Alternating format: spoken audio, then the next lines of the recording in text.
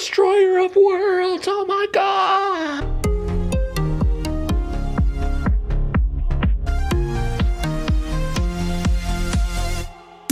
Hey gang, I'm JP and welcome back to Egotastic Fun Time! Are all the longtime Star Trek fans who have reluctantly signed on for one more adventure with Captain Picard going to jump ship now that it seems that this 24th century next generation adventure could connect directly to season 2 of Star Trek Discovery's Red Angel Magic Space Sphere Time Travel debacle? I just watched episode 3 of Star Trek Picard and while I was very impressed by the first two episodes this season, this one fell a little flat in some areas. Like I always say when I go to see my proctologist, it's a lot to take in. In Discovery's second season, there was some sort of artificial intelligence from the future trying to upload information from an ancient space sphere thing to help itself from the past evolve and become powerful enough to explode everybody. Hipster Spock had a vision of all these worlds being destroyed and went crazy from it because it broke his Vulcan mind. In the beginning is the end. Soji and Hugh go to meet a reclaimed Borg lady named Ramdha at the XB Romulan loony bin aboard the Borg cube. Turns out there are some disconnects connected ex Borg on the cube that didn't recover very well. They're all mentally disturbed, and all of them turn out to be Romulan for some reason. Rhonda freaks out and says she recognizes Soji. She remembers her from the Tomorrow. She's the destroyer of worlds. When Rhonda says, I remember you from tomorrow, to me that means she remembers her from the future. A future where Soji is the destroyer of worlds, just like that AI from the future was the destroyer of worlds in Discovery's second season. For some reason, Ramdha's ship was the last one assimilated by this Borg cube before something happened that caused it to be disconnected from the collective and left for dead. We don't know why the Borg decided to purge this submatrix from itself or if the cube is from the future, but I have a theory on that and I'll get to it in just a bit. In this episode, we meet most of Jean-Luc's new team, beginning with a flashback just after the synth attack on Mars when Picard tells his second in command, Raffi, that he gave Starfleet a choice between continuing the Romulan rescue mission or accepting his resignation. To Jean Luc's shock, they easily chose the latter. In the flashback, we can see at the time that Raffi was a bit of a Picard fangirl when she was younger. She was a little too anxious and wide eyed for me personally. Also, I can't stand that she calls him JL. It's just so clunky of a nickname. But mostly, I don't like her calling him JL because it's different from what I'm used to, and I'm set in my ways. I don't like it because she overuses it too much. One thing I know about people is that they don't call each other by their first names when they're having conversations with each other, unless it's in reference to a person or you're trying to get their attention. When we catch up with JL and Raffi in the present, we see that Raffi is angry at JL, not because JL left Starfleet and that she got fired because of her connection to JL, but because JL never checked in with her afterwards because JL also seemed to have left her behind. Turns out Raffi had a fall from grace when she was fired from Starfleet and she acquired some vices along the way as she let her life go to shit. I like the idea of Raffi feeling betrayed by her friendship with Jean-Luc and she's angry with him and that she's a crackhead now. But her substance addiction kind of came off as fake to me. Wine is basically fruit juice. I like Raffi though, just thought her introduction was too much tell and not enough show. Or maybe it was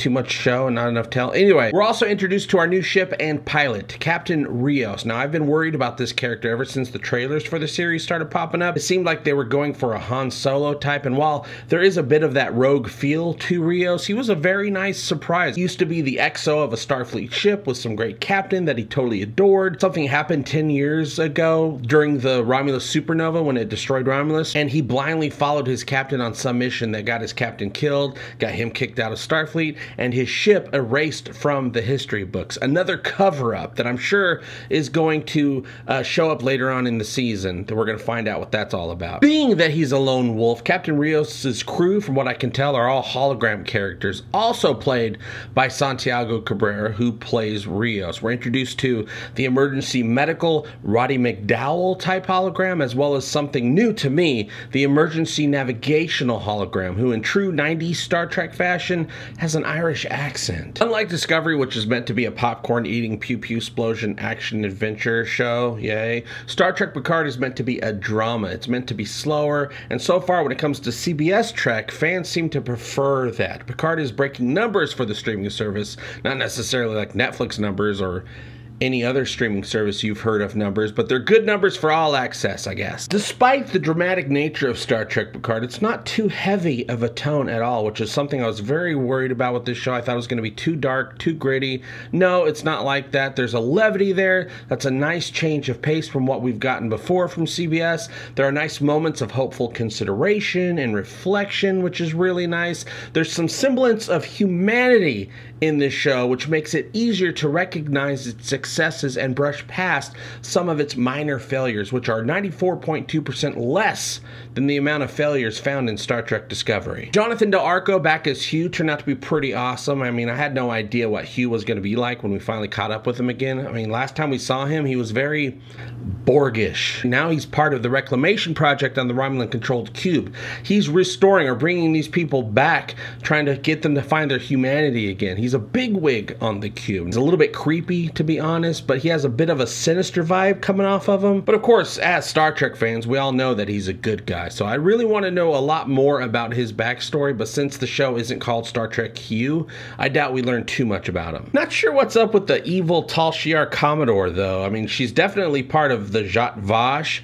which is Romulan, and she's sneakily, you know, infiltrated Starfleet and the Federation, but everyone thinks she's a Vulcan, which I assumed was going to be the case last week. She's either an evil Vulcan or she's a Romulan pretending to be a good Vulcan. There's also this weird scene where Commander O goes to talk to Dr. Jurati about what she might know about Picard, and she's wearing sunglasses. And I get it, it's a sunny day. I mean, I would think hundreds of years from now that people still wear sunglasses on sunny days, but Dr. Jurati wasn't wearing sunglasses. Does Commodore O have a sensitivity to light like Captain Lorca did? Is she from the mirror universe? But the light sensitivity only affected humans. It was part of their evolution, so that doesn't make sense. If humans evolved to be sensitive to light, they wouldn't have evolved to be what we know as humans in the first place. Absolutely loving Laris and Zhaban. They get better every episode. They're awesome. I would love to take them aboard to be part of the crew throughout the entire season. The kicking ass and taking names. The fight scene between them and the Tal Shiar was great. Though the start of it was a bit awkward with the apple dropping on the floor, but hey, as we know, Starfleet banned synths after the attack on Mars, and it would appear this is exactly what the Romulan Tal Shiar wanted.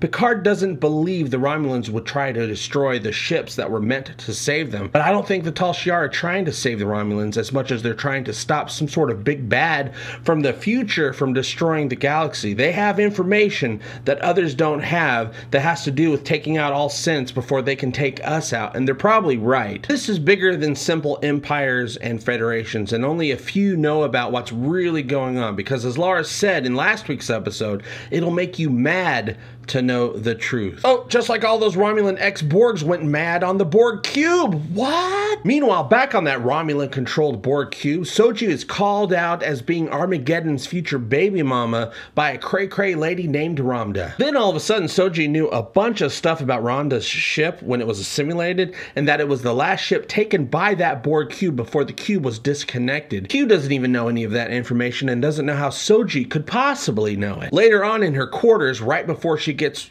remissed right in the A by Narek. She says that she didn't know any of that information right before then. Five minutes before, she had no idea. The information just seemed to show up in her mind all of a sudden. In case you forgot, Soji is an organic synth built by Bruce Maddox who thinks she's human, but she isn't human, you guys. She's an android. Crazy Ramdha says that she recognizes Soji from the tomorrow and that she's the destroyer. Now, we don't know if the cube is from the future or not, or if it assimilated some sort of virus or information that would have infected affected the rest of the Borg collective and it had to be instantly disconnected from it. But I also don't think that Ramdha was actually in the future to see Soji either, you guys. In season two of Discovery, Spock and Pike sent a probe into the future and it came back all of a sudden all upgraded and was trying to destroy their shuttle. We never learned what that was all about because the disco writers probably just forgot about it. If Ramdha saw Destroyer Soji in the future, but wasn't in the future, do you think that she might have just uploaded some of the future evil AI to her brain